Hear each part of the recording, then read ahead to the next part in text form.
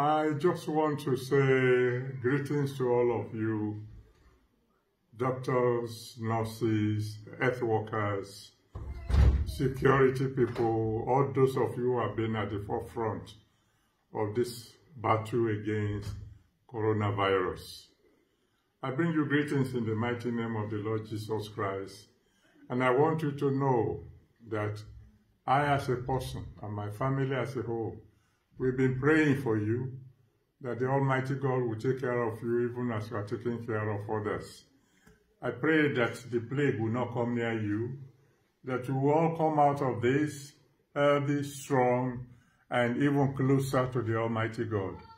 It shall be well with all of you, and I want you to know there are several people who appreciate you deeply for what you are doing now.